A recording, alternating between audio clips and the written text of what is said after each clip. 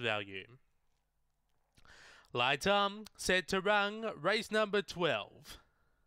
Set, away, wingers wing began on term, speed from Lagoon Dark Eyes, also speed My Mum's Value, and switching over from out wide Pepper Jack. On top Lagoon Dark Eyes, limbing up My Mum's Value. On the inside Pepper Jack, wingers wing out the back, Lagoon Dark Eyes, Pepper Jack late, but Lagoon Dark Eyes got there over Pepper Jack.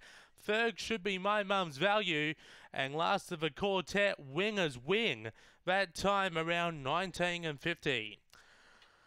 After race number 12, number one, Lagoon Dark Eyes gets the prize for Daryl Johnston in front of Pepper Jack for Debbie Stuppis. Third, number four, My Mum's Value, Robert Barclay.